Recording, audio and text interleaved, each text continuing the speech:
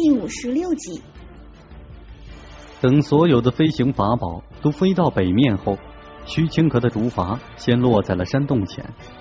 虚清河的筑基修士全下了竹筏，向竹筏上的三人一拜后，就头也不回的进入满是白雾的山洞之中。等虚清阁的修士进去后，萧太监那边也飞出了一条飞天船，从上面也下来不少修士，紧随其后进入了个山洞。接下来就是这样。南山界放一船修士进去，萧太界也放一船进去，一来一往的大部分的修士都被送进这个山洞之中。南山界只有全仙门的筑基修士，依旧是满头的雾水，看着这些修士一批批的进去，却不知道个所以然。随着心中的疑问越来越大，有些修士按捺不住心中的疑惑，眼光不断的瞧向全仙门的飞天船。也不知道是时辰已到，还是全仙门也正好要出来安排他们呢。吕娘娘突然从飞天船上走了出来，而她的身边还有那名拿着白风困神旗的结丹长老。两人面无表情的看着众人，在吕娘娘轻摇了几下关扇后，她缓缓的开口了：“你们太年轻，不知道南山界和其他的地界之争。”每次都是在这块融天石中进行，比试方法也很简单，从下面的山洞进入，顺利找到出来的传送阵即可。时限有一个月，超过这个时间，融天石内会毁灭所有的异物，而你们就是异物，所以你们可不要忘了时间。看着众修士都把眼睛盯在了白风困神旗上，并不在乎他的话。吕娘娘用弓扇挡在了嘴前，笑了笑：“ 你们不用着急，在进入融天石洞前，会把你们的神石还给你们的。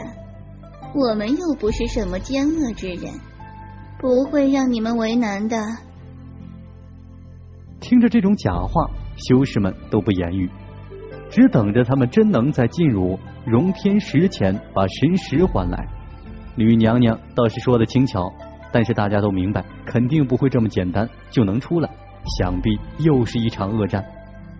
无数的法宝和修炼福地在等着你们，去吧。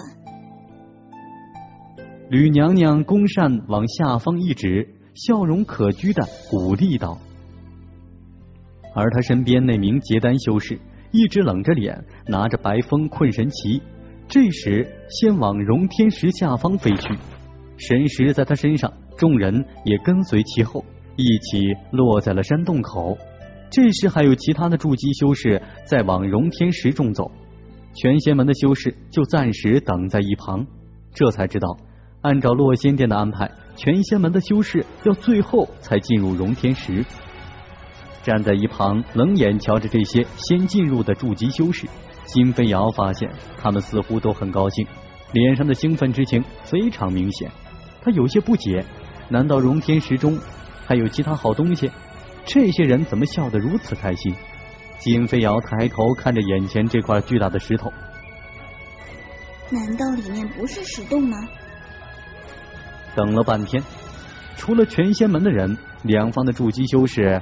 都全部进入了融天石中，而那冷面结丹修士终于手拿白风困神旗走到了山洞口，离着那白雾也就只有一指之遥。都到这份上了，再吞吞吐吐的也没意思。大家很自觉的走到了他的面前，而那名冷面结丹修士只是一打量眼前的修士，手就往白风困神旗中一抓，一条神石就被虚空抓住了。淡的若有若无的神石结成一团米粒大小的光团，被他拿在了手中。在众人的眼光中，他把神石轻轻一放，神石嗖的一下就飞到了那名筑基修士的身上。筑基修士检查了一番，发现回来的神石没有异样后，他二话不说就走进了白雾之中。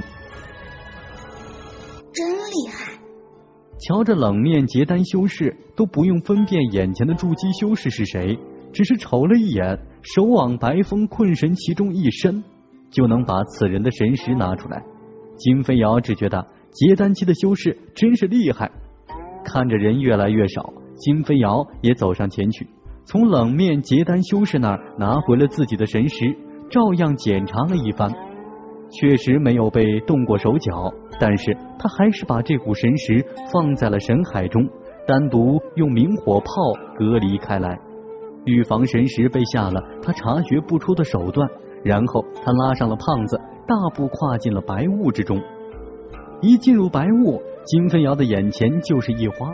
果然不出所料，山洞口的白雾是传送阵的隐藏之法。他死死的拉着胖子，可不想因为胖子的任性不进灵兽带，最后被传送的天南地北的。片刻之后，他俩就被传送进荣天石内部。这是什么？我是不是来错地方了？看着这超出想象的荣天石内部的景象，金飞瑶惊讶万分。如果这是幻象，那手笔也太大了。一阵阵凉风吹向他，带着青草的香味和淡淡的花香。金飞瑶的眼前是一片长过膝的青草地，他抬头看着天，上面不是想当然的石头，而是和外界一样的天空、白云和火热的太阳。在青草地的远处，有一座奇怪的山，样子非常的奇特，像一只只蘑菇，由大到小，一层层的叠起来。这些蘑菇之间上下有长长的楼梯隔空相连，而且这十来层直通云霄的蘑菇山上面还修着一幢幢极其精巧的房屋，十几条如银带般的瀑布从这些蘑菇山上挂下来，还没接近地面就被风吹散。在蘑菇山四周形成了一层飘渺的雾气，使整座蘑菇山美轮美奂，让人不禁以为啊是来到了什么神仙所住的地方。金飞瑶从这美景中回过神来，放出神识向四周扫去，却没有发现任何修士。难道这幻象只是针对个人的？每个人的幻象都不相同，所以我这里并没有其他人。要从这里出去。就要找到往外的传送阵，而神识扫到蘑菇山时，被一层禁制给挡住了，不能知道上面有没有传送阵。看来不去这蘑菇山走一趟是不行了。胖子，我们走吧，瞧瞧这幻象到底有多真。金飞瑶笑了笑，比想象中那种全是迷宫的石道，然后里面挤满了如同蚂蚁一样多的修士。大家为了抢个传送阵而疯狂杀戮，要有意思多了。他享受着这份逼真的幻象，刚走出不远，突然就发现草丛中长着一只超过三百年药龄的天珠草。金飞瑶万分疑惑的站在了这株天珠草前，觉得这幻象啊也真是的，竟然还弄出这等灵草来吸引人。只要自己去采这株天珠草，肯定就马上会化为一只巨兽。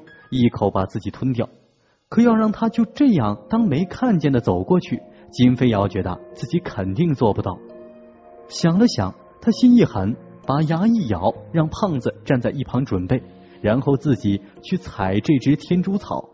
如果天珠草化为巨兽要吞噬自己，就让胖子用舌头把自己卷住，然后拉到安全的地方躲开巨兽的攻击。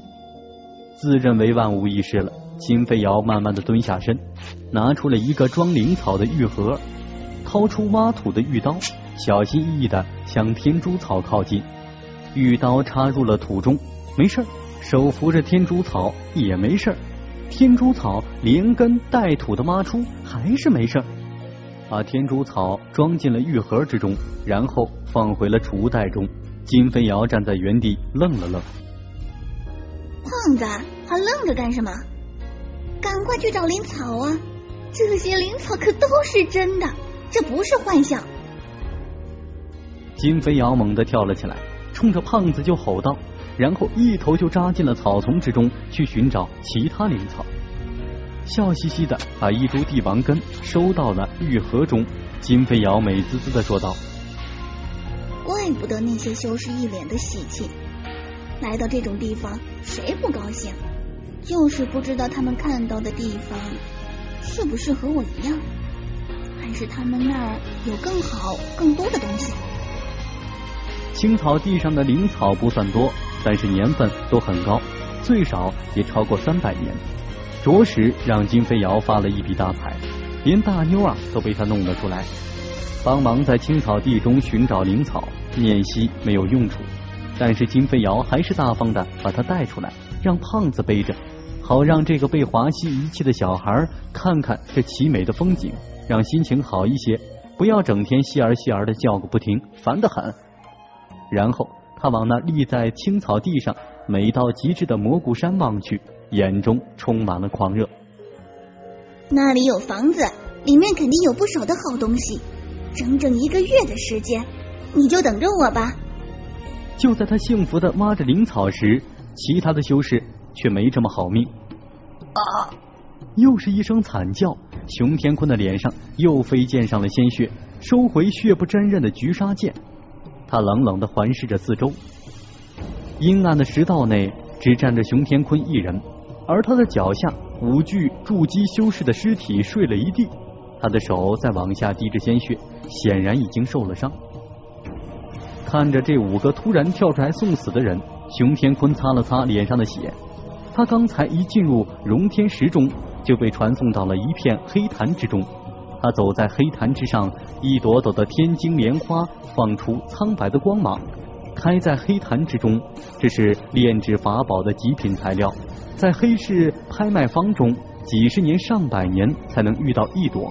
而如今呢，在他的眼前却有上百朵拳头大小的天津莲花，就连一向对财物没有多大兴趣的熊天坤呐，也为之动容，小心的把一朵朵天津莲花收入了储物袋中。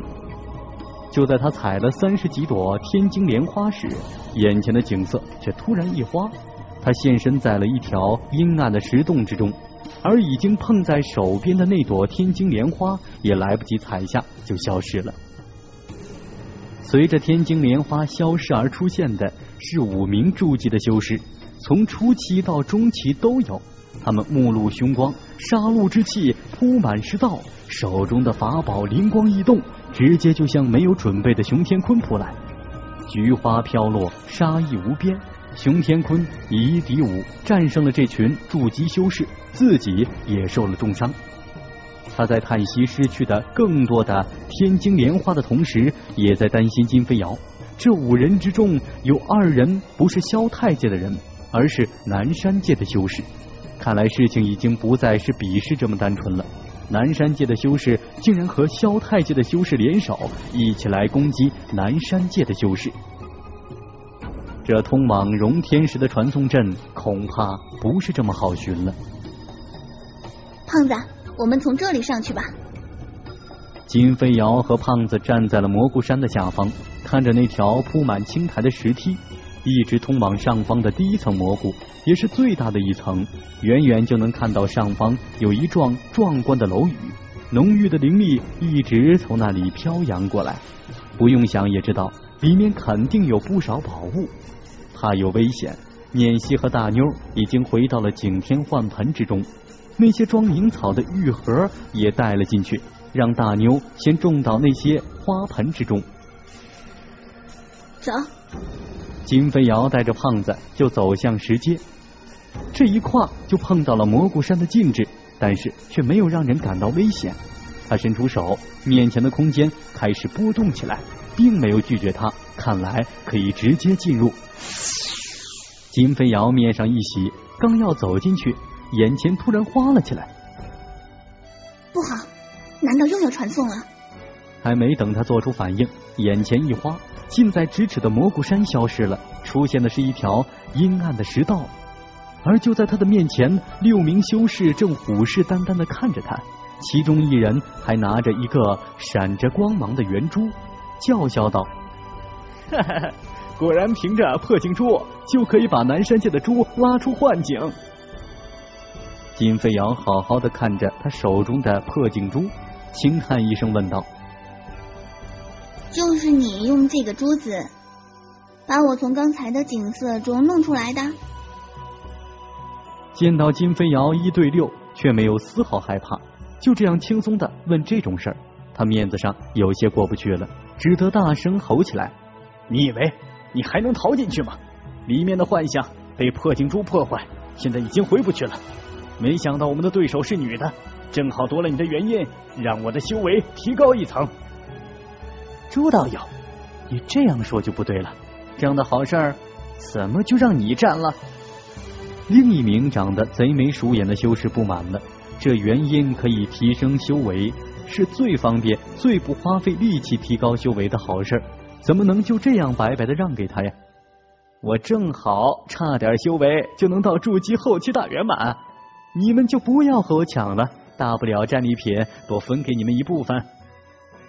这姓朱的修士有些不耐烦，看在元因的份上，分了些好处出去。你们知道你们干了什么吗？我现在非常的生气，竟然敢坏了我的好事，找死啊！